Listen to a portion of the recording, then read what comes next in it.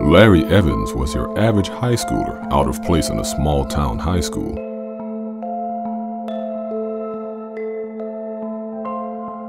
Up until he found and was captivated by the impossibly beautiful, yet alarming and mysterious Veronica Cartwright.